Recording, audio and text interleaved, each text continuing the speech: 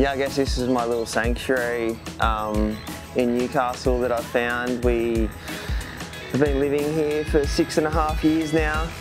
Get to raise the kids on two and a half acres here and let them be pretty free range and um, yeah, it's definitely a beautiful part of the world.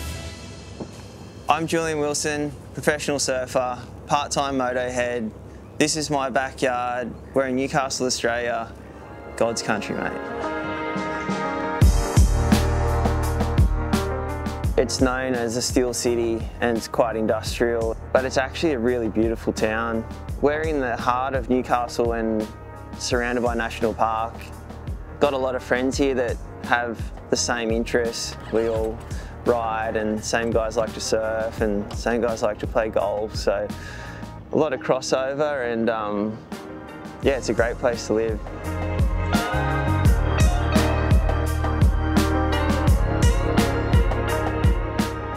For the average person, they look at motorbikes, dirt bike riding as like a fun hobby. It requires so much strength and cardio and like good decision making and just like this really intense state of mind that you have to function in. But yeah, I've, I've always used motorbikes as, as a tool in, throughout my career. My biggest fear as a professional surfer was to be like a very predictable surfer and I felt like um, continuing to have dirt bikes and skating and those things um, as hobbies throughout my career it always made me think differently about how I approach my surfing I definitely think it had an influence.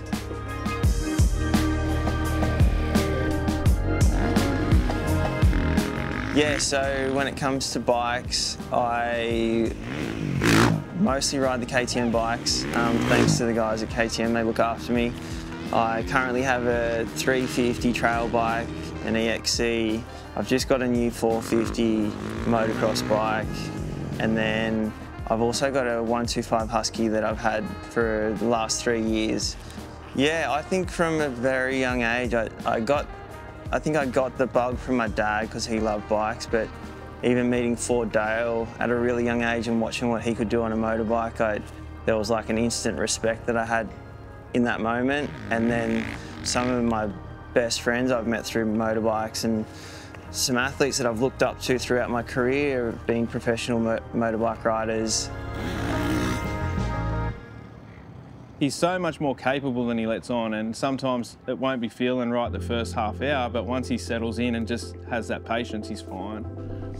It's good to be able to just calm him and just reassure him that just give it time. Um, don't rush it, take your time and just feel it out. Uh, sometimes he hasn't ridden in a long time. Generally, when he comes around here, he's always busy and on the road, and so got so much on with family and stuff. And so for him to come back out, and it's kind of always out of his comfort zone. I guess it'd be like me paddling out pipe. I'd be hanging off him because I'd be shitting bricks. So just giving him that confidence to, to say, you can do it, just like keep going, like don't give up, the track's hard, or just give him some guidance on what I'm feeling as well. So then it, it's not just the bike or it's not this, it's a, a range of things. So yeah, it really helps.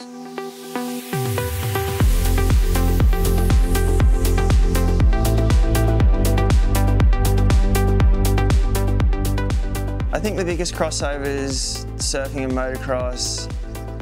You enjoy riding a dirt bike when everything flows and you don't think about it. Same with surfing when you can connect your, a wave together and you're not thinking about it, you're just going where you want to go. The other thing is like it relates to sort of bigger wave, waves of consequence, making really good decisions when you've got a lot of fear and stuff going on. Julian's been one of the best surfers in the world for a long, long time. And what people probably don't know about him is he's a legit motocross rider. Like he's seriously good.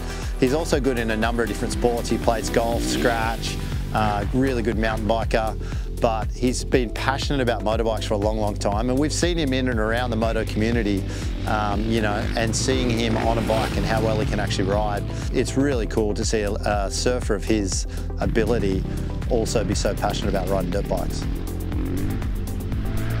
In the motorbike world, the guys that are super, super fast are extremely humble in, um, you know, knowing how they can assess a gnarly situation, how well they can manage it. For motorbike riders, going surfing would be such a great reset for their careers, and I feel like surfers, if they're willing to, motorbike is the ultimate reset. You can't think about a single other thing in the world except surviving a track and getting around a track. So it's just a great way to reset.